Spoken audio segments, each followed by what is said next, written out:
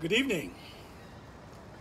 My name is Dave Blanchett, and tonight, the fourth question for this week at St. Mary's Episcopal Church in Honolulu, you know, the Christian formation session, is what do you dream? What do you dream? As a recap, the first three questions were what do you love? What have you lost? And where do you hurt?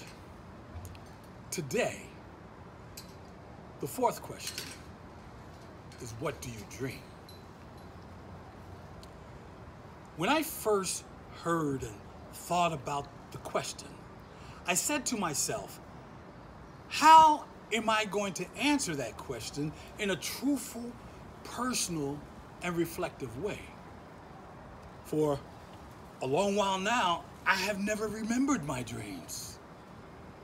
Though I do daydream, fact a lot now, dreams in my sleep, like I used to dream and remember, I just don't remember now.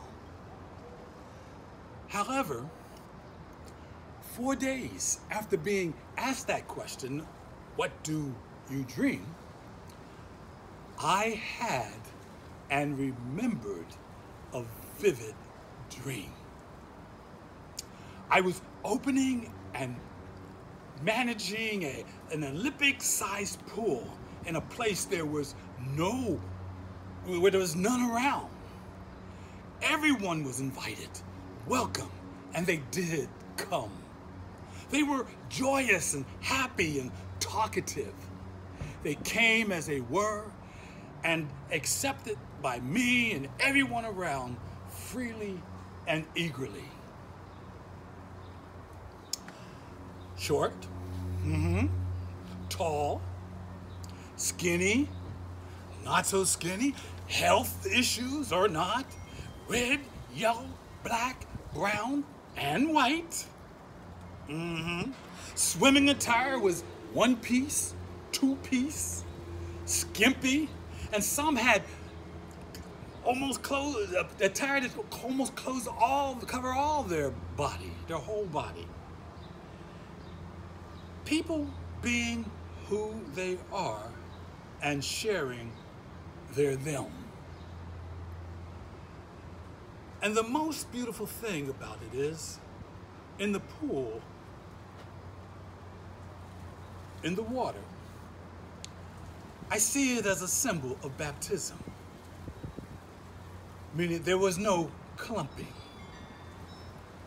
In today's heartbreak, in a sea of people, you would expect the blacks at this end and the whites at that end. And, and, and, and, and the Asians would be over, over here, and the other racial groups would be over there. And within those groups, those racial groupings, there is further division, a separation or a segregation of male and female. Not in my dreams. No, no. In my dreams, in the pool, in the scene, is a mixed multitude.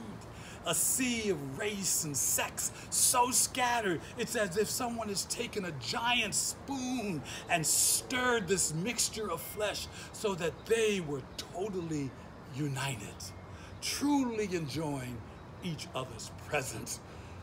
Wow. Wow. You know, Jesus said, Father, may they all be one as you and I are one.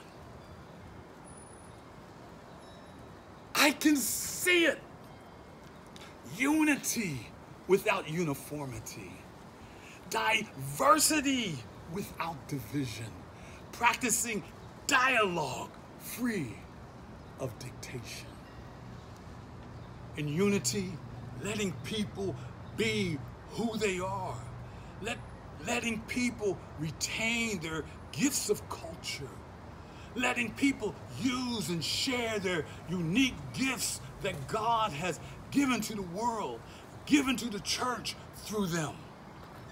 No such thing as checking your culture at the door. No such thing as checking your identity at the door.